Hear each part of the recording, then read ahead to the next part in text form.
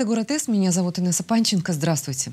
Фитнес зародился в Америке как альтернативный бодибилдингу вид физических нагрузок. В переводе с английского «фитнес» означает «соответствие». Кому и чему соответствовать – это уже личное дело каждого человека, решившего заняться собственным здоровьем и совершенствованием своего тела. В ближайшую субботу самарцев ожидает первый фестиваль фитнеса. Он пройдет на нашей прекрасной набережной. Ну а кому и чему предлагается соответствовать, узнаем у наших гостей. Сегодня в студии Сергей Половинкин, заместитель руководителя Департамента физической культуры и спорта администрации городского округа Самара, и Кирилл Сукачев, руководитель компании «Формула здоровья». Кирилл, наверное, все-таки к вам первый вопрос. В чем все-таки цель занятий фитнесом? Э, ну, не, нельзя назвать это понятие новым в нашей жизни, уже привыкли мы все к нему. Но, тем не менее, почему не физкультура, почему фитнес? Сложно ответить однозначно на этот вопрос. Э, слово «фитнес» уже настолько глубоко проникло в нашу жизнь, что, что физкультура, что фитнес, я думаю, для всех это примерно одинаковые понятия. А, ну, действительно, фитнес зародился в Америке. Это была а, даже, можно сказать, программа американского правительства по э, сохранению здоровья нации. А, вот как термин фитнес это прижилось в нашей жизни уже и в России давно, в Самаре. Рынок фитнес-услуг сформировался достаточно хорошо. Ему уже более 15 лет.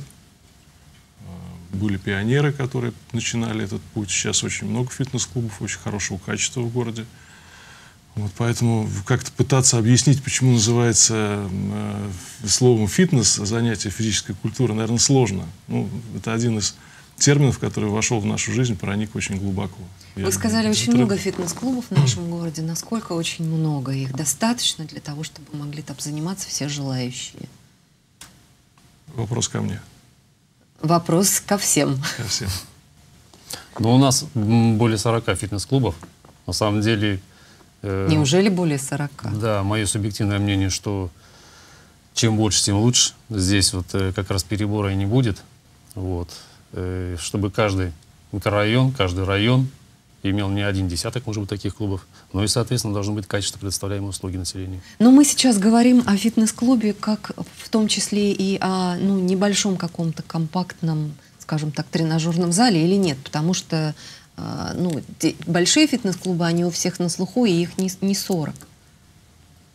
Ну, естественно, э, есть, есть не, не очень большие фитнес-клубы, вот, большие фитнес-клубы имеют свою некую такую улучшенную материальную базу, да, там элитарность. И, да, да, ну в том числе может быть какая-то элитарность, там и бассейны, там и э, какие-то э, другие услуги представляются, но существуют и более такие социальные фитнес-клубы, может быть, э, небольшой площади, но, опять же, скажем так, хорошо оснащенные и имеющие свой контингент и удовлетворяющие потребности жителей занятий ну, как физкультурой, фитнесом. да, клубы всякие нужны, клубы всякие да, важные. Да, конечно, конечно. Кирилл, насколько популярен фитнес у самарцев, как вы считаете?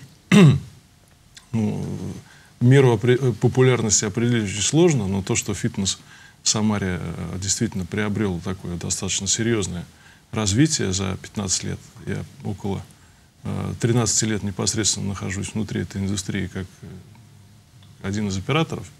И как человек, который близко к этой индустрии, около, наверное, 15 лет наблюдая за, то, что, за тем, что происходит и в целом и в мире, и в России, и в Самаре в том, в том числе. Э, фитнес действительно очень популярен на сегодняшний день, но процент охвата – Э, населения нашего города все равно остается низким. Это не только в Самаре, это в целом по России происходит. А, потому что, например, по статистике в Европе занимается около 15% населения э, фитнесом. В Самаре эта цифра еще не дотягивает даже и до 5%. Ну, к сожалению, Уди- так. Удивлена тем, что К сожалению, слышишь. так, да. Э, тем не менее, вот с помощью наших партнеров Департамента физической культуры и спорта, который очень хорошо сейчас поддерживает э, фитнес-движение в городе, э, я думаю, что нам удастся поднять это количество людей, вот в том числе и с помощью таких мероприятий, которые мы планируем провести в субботу. Ну, давайте про это мероприятие уже будем рассказывать. Вообще немножко неожиданно прошел день города, прошел день физкультурника, прошло спортивное лето, все это уже позади, и вдруг э, вот э, фитнес-фестиваль нас ожидает. Это как-то на самом деле неожиданно случилось, или все-таки это было событие давно запланированное, к которому готовились? Ну, давайте, наверное, я отвечу на этот вопрос. Вернее, я начну отвечать, и Кирилл потом уже допол дополнит. На самом деле, это не спонтанное мероприятие. Мы готовились к этому мероприятию заблаговременно. Э, провели ряд встреч и в районных администрациях, в том числе, куда приглашали все фитнес-сообщество. Вот, скажем так, Кирилл был инициатором приглашения всех этих фитнес-клубов. вот. Но а с чего все зародилось? С того, что Олег Борисович Фурсов э, при встрече с руководителем департамента спорта поставил задачу именно создать некое такое сообщество, ассоциацию некоммерческих объединений фитнес-клубов. Ну вот с этого все и началось. Встречи, общение. И в эту субботу, ближайшую, как раз вот мы увидим результат того, скажем так, к чему мы стремились. А в чем вообще суть объединения фитнес-клубов? Для чего это нужно? Ну, и что под этим подразумевается? Да, давайте вот здесь немножко поподробнее. А, попытка объединить фитнес-клубы в некое сообщество, ну, по крайней мере, а, нами производилась несколько раз. То есть э, в свое время один из операторов самарского фитнеса достаточно э, ну, часто проводил э, фитнес-конвенции, в рамках которых мы пытались проводить круглые столы, какие-то обсуждать насущные вопросы и каким-то образом сплачивать всех операторов для того, чтобы решать совместно какие-то общие задачи, общие вопросы. Ну, сложно очень этот процесс происходил, можно сказать, он никак не происходил. Тем не менее, наблюдая за тем, что происходит, например, в Москве, удалось понять, что в Москве это, это, это давно уже сделано. В Москве существует несколько ассоциаций независимых, некоммерческих, объединяющих там и фитнес-клубы, и э, различные направления, которые в фитнес-индустрии существуют. И все они на слуху, все они имеют хороший результат своей деятельности. В чем этот результат? Например, в Москве в рамках вот именно городской программы поддержки э, физической культуры и спорта существуют даже субсидии на занятия э, в фитнес-клубах тем слоям населения, которые не могут себе этого позволить. Это адресное, адресное финансирование. То есть это уже работает. И работает оно именно в таком ключе, что получает деньги не какой-то отдельно взятый фитнес-клуб, который вот захотел участвовать в этой программе, а получают именно те фитнес-клубы, которые объединены в какие-то э, ассоциации и которые вступили в программы, которые поддерживает правительство Москвы, города Москвы. А почему бы не сделать то же самое в Самаре? То есть вот прямая заинтересованность населения в этом объединении? Конечно, да? конечно. То есть население может получить более доступную услугу. Э, те же фитнес-клубы, которые на сегодняшний день представляют э, собой обычные бизнес-единицы, они, э, в общем-то, подвергаются всем, всем тем же, скажем, испытаниям, которым подвергается весь бизнес вообще в России, в принципе. А, поэтому защита прав и интересов именно фитнес-индустрии тоже насущна. Вот, например, я знаю, что в Европе там совершенно другие налоги платят фитнес-клубы. Ну, про Америку говорить не будем, не, скажем, не модно сейчас говорить, приводить пример американский опыт, да, но тем не менее там целая программа существует, которая тоже субсидирует и помогает и поддерживает эту, эту отрасль, отрасль бизнеса. А добиться таких программ и таких адресных поддержек можно только объединившись в какое-то а, ну, общественное движение с каждым отдельно взятым фитнес-клубом никто не будет разговаривать. Потому что ну, это вот, вот сейчас вы говорите все равно об интересах бизнеса. И, может быть, не всем зрителям, скажем так, это будет интересно, но, в общем, понятно. А, Я не соглашусь. Опровергните. Да. Интересы бизнеса – это в первую очередь интересы пользователей, интересы клиентов. Услуга должна быть высокого качества и доступной по цене.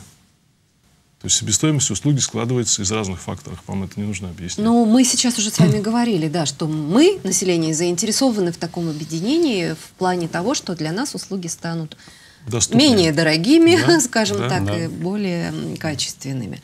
Хорошо. Э, э, Все-таки попытаемся сейчас про фестиваль рассказать.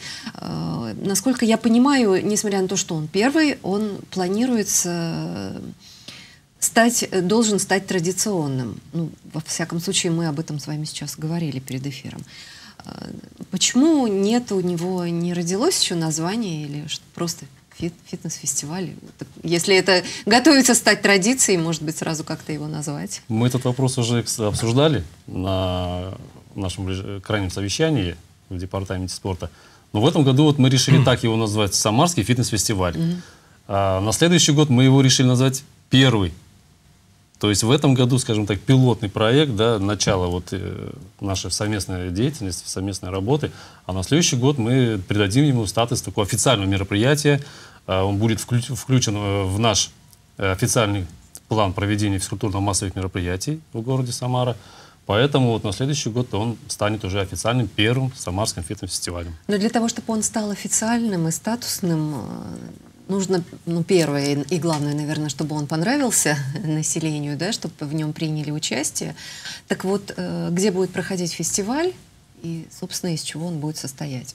Давайте я расскажу, где он будет проходить, а Кирилл расскажет всю начинку этого фестиваля. Будет проводиться он 19 э, числа на в ближайшую субботу? Да, в ближайшую субботу, 19 числа, э, на второй очереди нашей прекрасной набережной по Чкаловским спускам. Это наш, наше место проведения традиционных всех уже мероприятий. Там мы проводили и жеребьевку э, к чемпионату мира, и День физкультурника. То есть место, знают, место скажем идти. так, да, уже спортивное, намоленное. Вот, поэтому приглашаем всех жителей. 19 числа к 11 часам, ну, можно подходить пораньше, 10.30 вот, э, для регистрации там и посмотреть, как все это будет происходить. Так, ну сразу, Орг, вопросы. Если люди придут все-таки с целью поучаствовать, что для этого нужно им с собой принести? Штанги, Во-первых, нужно принести мечи. хорошее настроение и заряд на здоровый образ жизни – во-вторых, это кроссовки, Нужно шор, шорты, одеться. футболка. Конечно, спортивная одежда, минимальный набор, ничего сверхъестественного с собой приносить не надо. Вы позвонили наверх, дождя не ожидается? Погода будет хорошая, мы узнавали. Отлично. Итак, придут люди, желающие позаниматься спортом, Кирилл, и что же их ожидает? А, ну, всего рассказывать не буду, потому что должна существовать какая-то интрига, иначе будет неинтересно прийти на этот фестиваль, уже зная, что там будет происходить. Ну, на самом деле там будет все очень уже знакомые нашим э, жителям. Э, около шести фитнес-клубов города Самары будут участвовать. Соответственно, все, конечно, будут стараться показать все самое лучшее, все самое интересное, все самое увлекательное. Будет э, несколько площадок, будет главная сцена, на которой будут проходить мастер-классы по популярным направлениям, которые сейчас э, в городе везде существуют, во всех фитнес-клубах. Будет площадка Mind и Body, где будут проходить занятия своей определенной направленности. Будет э, площадка, на которой будет проводиться в рамках этого фитнес-фестиваля турнир по мини-футболу среди клиентов клубов. Э, будет площадка, на которой будут проходить функциональные тренировки. Будет площадка, на которой будут проходить турнир по кроссфиту среди клиентов клубов. Ну и, конечно, дети, наши лучшие клиенты, обязательно будут заняты. Будет две площадки для занятий с детьми. Ну, вы сказ... очень часто называли в этих мероприятиях клиенты клуба, клиенты клуба, а те, кто все-таки не клиенты клубов и, и тоже захотят поучаствовать, у них такая возможность будет? Конечно, Или фестиваль только зрители мы проводим для всех э, жителей города. Просто организовать именно в какие-то турниры проще всего тех людей, которые уже являются клиентами клуба. Времени на подготовку этого фестиваля у нас было очень мало – вы очень хорошо заметили, почему лето прошло, мы только вот опомнились, решили провести сейчас. Неожиданно наступило Неожиданно, да. Но причин несколько. А, во-первых, лето было у нас э, достаточно плотно а, занято различными мероприятиями.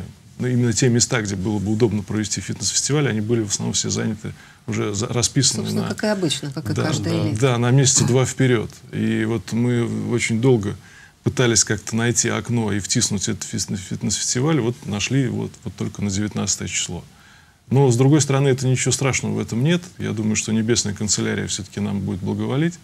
А сентябрь очень хороший месяц э, для любого фитнес-клуба. Как, э, как бы один из членов этого э, сообщества, я могу сказать, что осень — это всегда хороший сезон, когда все люди возвращаются из отпусков, когда еще есть желание у людей как-то активно в чем-либо поучаствовать, позволяет погода, Собственно, свежий воздух. бы и нет. Да, осень, сентябрь очень хороший месяц для этого, поэтому единственное, что нам может э, помешать, и то же не помешает, а немножко скомкает наши планы, это может быть какой-то дождь, возникший откуда-то не- неожиданно. Но я думаю, что нам это не помешает ни в коем случае. Вот, поэтому именно вот в сентябре так получилось. Кого мы ждем на этот фитнес-фестиваль? Людей какого возраста, какой спортивной подготовки? На самом деле, я считаю, что, как вы уже начали сегодня нашу программу, физическая культура, ну, в том числе и фитнес, вот новое, там брендовое слово, да, не имеет никаких возрастных ограничений. Это мое субъективное мнение. От мала до велика, опять вот Кирилл сказал, что там будут площадки и для детей, будут э, мастер-классы и для людей старшего возраста. Сейчас фитнес-клуб э, настолько э, социально доступен каждому человеку, что посещая вот, э, не- некие объединения, да, такие фитнес-сообщества, я вижу, что там много людей старшего возраста, очень много людей старшего возраста стали именно заинтересовываться, ходить и находить какое-то э, направление для себя, будь то там э, групповые какие-то упражнения, будь то массаж, будь то посещение сауны, бассейна и так далее. То есть э, ограничений по возрасту здесь никакого не вижу. Вы сказали, Кирилл, что будут мастер-классы для детей и для взрослых, но у нас в Самаре все-таки очень популярные семейные мероприятия, особенно выходные дни. Будут ли какие-то мероприятия, где родители могут вместе с детьми поучаствовать, либо нужно всем разойтись по разным площадкам? Ну, в рамках этого фестиваля таких мероприятий не будет.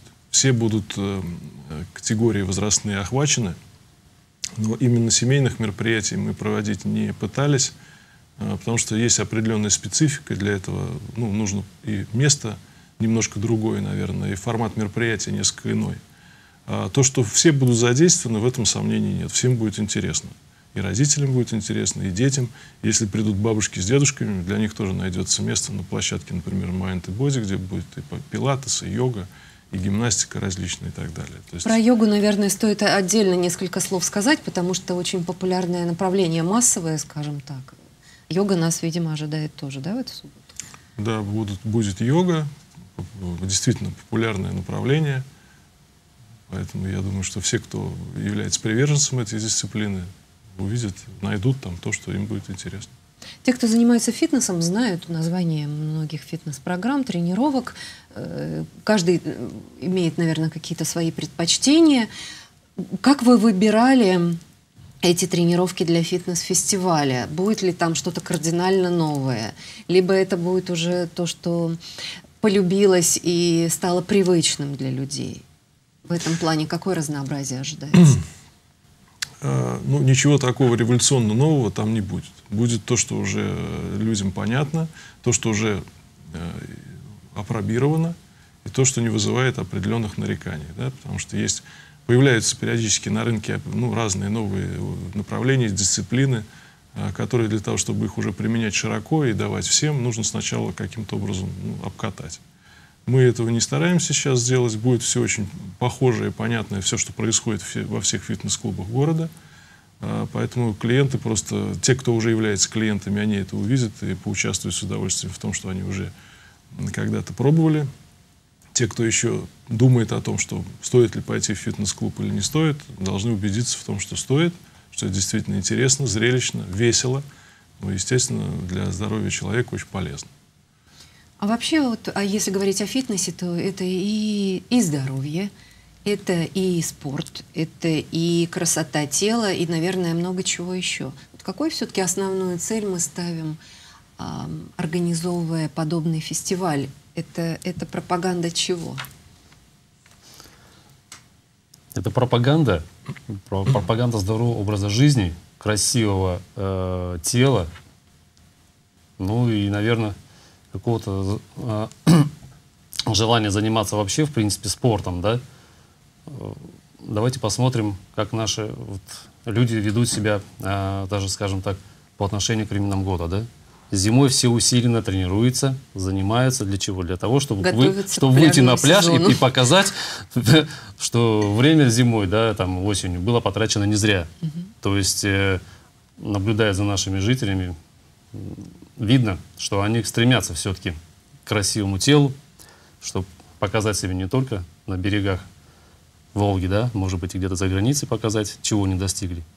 Ну, я считаю, что, в принципе, э, первоначально это, конечно, конечно, э, здоровый дух, здоровом теле здоровый дух. Никто не отменял, да, это поговорку.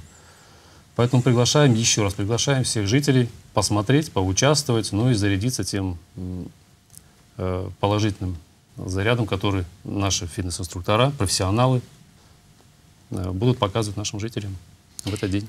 Э, Кирилл, в каждом фитнес-клубе есть какой-то тренер или несколько, к которому ходит большое количество народа на групповые тренировки, и это говорит уже о личности именно тренера. То есть можно знать, уметь, но не быть яркой звездой и не привлекать людей. Э, есть ли такие вообще звезды у нас в самарском фитнес-сообществе? И я так понимаю, что именно на них вы будете опираться ближайшую субботу. Именно они, наверное, должны будут э, как раз и проводить все эти тренировки и мастер-классы. И мне кажется, что даже если мы какие-то имена сейчас назовем, это не будет являться рекламой. Ну, имен мы называть не будем, потому что все равно, э, знаете, сейчас назовешь имя, а человек, например, не, ну, может заболеть и не прийти. Будет не очень корректно. Суеверный. Ну, наверное, Хорошо. да. Наверное, да. Вот. Э, конечно, будут лучшие из лучших э, выступать на площадках и вести уроки. Тренер – это своеобразный человек. Вот вы правильно сказали, что есть тренеры, на которых идут, а есть тренеры, которые очень хорошо знают предмет, но на них почему-то не идут. Да. Это все зависит от э, личной как бы, харизмы человека и от того умения именно передавать эмоции. Вот это качество э, не всем доступно. Да, то есть э, я знаю очень много очень, хороших ребят, которые э, и работали вместе со мной, и сейчас работают совершенно там самостоятельно, очень э, образованные, умные, профессиональные, но не являющиеся вот такими лидерами, за которым идет очень большое количество клиентов. И наоборот, есть люди, которые буквально там за полгода достигают очень высоких рейтингов в проведении групповых программ, обладая вот такими вот какими-то харизматическими качествами, за которыми идут люди. А, поэтому наша задача, на самом деле, объединить э, эти два э, компонента, чтобы тренер был и харизматичен, и профессионально подготовлен. Потому что Э, когда клиент приходит в фитнес-клуб и начинает тренироваться, он доверяет свое здоровье сотрудникам. А он должен быть уверен в том, что придя как бы, в клуб, он не навредит себе. То есть как у врачей, да, главное не навредить. Вот, поэтому заня... ну, подго... подготовка профессиональная, вообще образование инструкторов – это отдельная тема, на которую тоже можно очень долго говорить. И одной из, скажем, задач, которую мы ставим перед собой, вот объединяя каким-то образом фитнес-клубы, это еще и дополнительное образование э, специалистов в этой индустрии.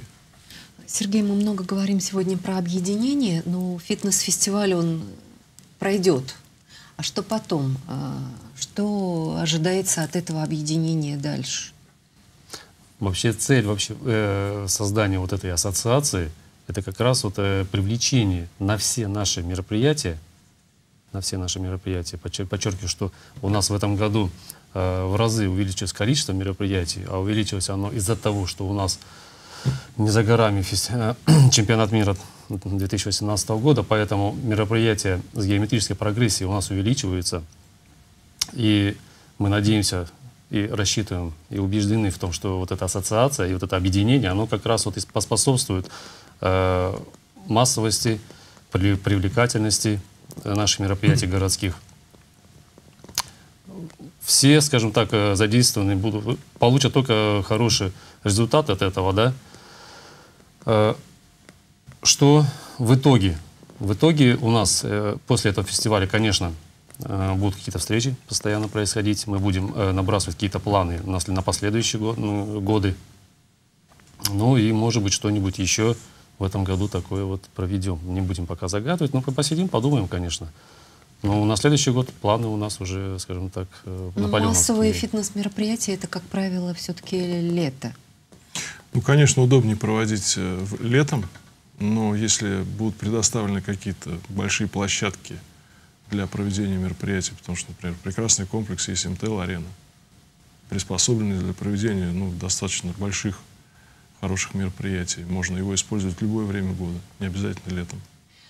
Кирилл, ну а как вы видите свою роль, роль вот, фитнес-клуба, да, скажем так, в э, принесении какой-то пользы э, населению и города, вот если примитивно так сказать? Ну, ну, например, как вариант, э, насколько мне известно, в ближайшее совсем время уже э, вот, э, нормы ГТО, которые много обсуждаются, и, в общем-то, Самара здесь где-то немножечко является даже и пионером, мы уже это начали, но это станет обязательным, насколько я понимаю, Сергей, да, как минимум для школьников, но к этому же нужно как-то готовиться, и, собственно, уроков физкультуры школьных, наверное, будет недостаточно для этого. Ну вот, например, вам в некоторых клубах города уже введен в расписание урок ГТО. Он Серьезно? так называется. Да. Это не дань моде. Пользуется ли он спросом такой урок? Ну, мы это узнаем позже. Вот. Это не дань моде, на самом деле. Я участвовал в, в некоторых э, мероприятиях, э, которые проводили ассоциации российского масштаба фитнес-индустрии. Эти мероприятия проходили вместе с сотрудниками Министерства спорта Российской Федерации, на котором как раз до нас и доводилось, э, насколько серьезно вот отношение к нормам ГТО сейчас у правительства России. Кто, как не фитнес-клубы, могут помочь подготовить большое количество людей к сдаче норм ГТО. Вся база для этого существует. Но школьники-то все-таки не очень ходят в фитнес. Э, школьники не очень ходят в фитнес, но фитнес может прийти в школу. Угу без проблем. Э, один из фитнес-клубов города, связанный с, как бы вот со мной, да, исторически, участвовал в таком проекте несколько лет назад. Был такой проект, который еще инициировал э, Василий Якименко, когда он возглавлял Росмолодежь. Это был третий урок физкультуры в школах, который проводился ну, как бы за рамками расписания, дополнительный урок. И мы проводили такой дополнительный урок физкультуры в одной из школ города – на протяжении, наверное, почти всего учебного года, может быть, чуть поменьше. Результатом этой работы, то есть наши инструкторы выезжали в школу и проводили там урок физкультуры. Для старшеклассников, скажу сразу, да, то есть не стали экспериментировать на совсем маленьких возрастных категориях, сразу взяли старшеклассников. Э, результат, один из результатов, рейтинг урока был в начале около нуля, то есть из там, по-моему, 16 человек старшеклассников входил один на урок физкультуры. Когда мы заканчивали э, учебный год, стопроцентная была посещаемость. Даже ходили те, кто был освобожден от физкультуры, но им было интересно, они ходили не на все, а на то, что они могли попасть. Там, на танцы, например, на какие-то более легкие дисциплины. Вот. Но этот проект куда-то канул в историю, не знаю куда. Но, тем не менее, опыт работы э, сотрудников фитнес-индустрии в школах, он есть. Тем более, что э, многие тренеры, они имеют педагогическое образование именно педагогический вуз в нашем городе, он готовит специалистов, которые могут быть тренером. Вот, поэтому здесь нет ничего невозможного, и я думаю, что с удовольствием э, фитнес-клубы города поддержат эту инициативу, если это будет э, предложение со стороны, там, например, образовательных каких-то учреждений, э, выделить своих сотрудников для подготовки учащихся к сдаче норм ГТО без проблем. Иными словами, такое объединение все-таки дает вам возможность многократно увеличить спортивно-физкультурную славу самарцев. Так для этого Конечно. мы это и делаем. Для этой ассоциации создается, чтобы не, не только заниматься фитнесом у себя на месте, у себя в клубе, да, а выходить именно и в школы, и на площадке. Э, хочется отдельно вот остановиться да, по э, площадкам, по, площадкам да. да, по тем нашим универсальным спортивным площадкам, которые мы построили и при школах, и во дворах. Вот сейчас мы также пришли э, к решению тому, что фитнес-инструктора должны э, быть закреплены и за такими площадками, потому что это интересно, потому что это креативно. Люди, э, многие, те, кто, может быть, сомневается еще в том, что стоит, не стоит идти в фитнес-клуб, увидят все то же самое у себя во дворе. Я думаю, что те, кто сомневаются, все-таки стоит прийти в эту субботу на набережную, принять участие в фитнес-фестивале и для себя уже сделать выводы, останется ли э, все это и дальше в вашей жизни. Ну, удачи в проведении фестиваля. Спасибо. Я прощаюсь с нашими зрителями. Всего доброго. Увидимся в городе С.